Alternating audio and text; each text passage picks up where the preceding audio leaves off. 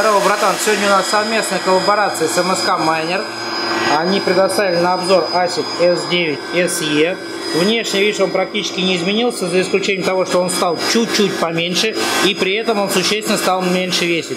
4 килограмм 560 грамм, то есть габариты стали поменьше. Этот асик сейчас в стоковой прошивке, при стоковой прошивке он потребляет 1380 ватт, при этом майнит от 16 до 16,5 терахэш в среднем получается. Средняя температура чипов от 50 до 85 градусов. Прошивка стоковая и не позволяет задать режим потребления, то есть в принципе по большому счету 1380 80 ватт за 16-16,5 терахэш это вот такой показатель.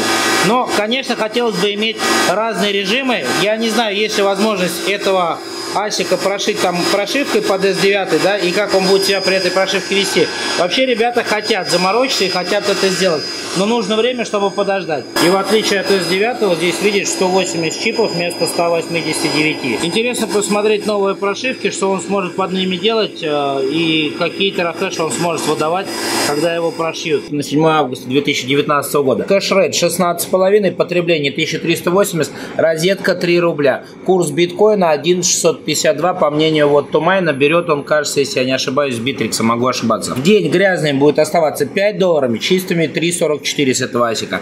А в месяц, в месяц 150 долларов грязными, чистыми чуть больше сотни. Вот такой вот у нас получился S9 SE от Bitmain а новый.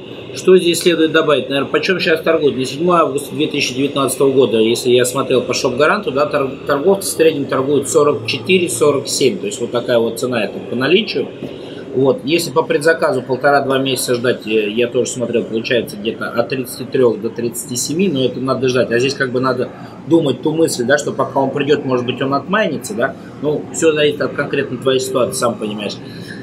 Дальше, что хотелось добавить? Скорее всего, мы будем делать предзаказ на эти асики, наверное, 150 штук. Или S9SE, или S9K, да, тоже будет на канале.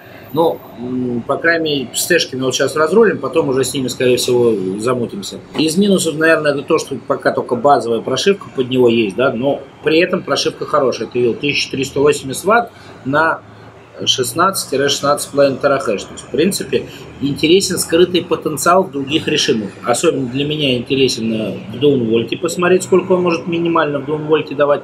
Для кого-то, у кого розетка очень вкусная или бесплатная, да, наверное, интересно посмотреть максимальные возможности. Но для этого надо дождаться прошивок. Вот, на этом, в принципе, все. Что хочешь сказать? Хочу поблагодарить еще раз МСК Майнер за то, что предоставили э, асик на обзор. Э, подписывайся в Инстаграм. Сейчас с тэшками закончим. Пойдем с тобой делать умную ванную. Туда уже давно я обещаю. Видишь, что никак не получается. Постоянно суета какая-то. Конечно же, подписывайся в Телеграм. В Телеграме у нас под 6 тысяч майнеров скоро будет. Опыт колоссальный. Вот есть какой вопрос непонятный. По любому вопросу, я не знаю, там другой не знает, ну сам понимаешь, что заголовок, кто-то даст по-любому тебе ответ на этот вопрос. И, конечно же, на YouTube. Всего доброго, пока-пока тебе.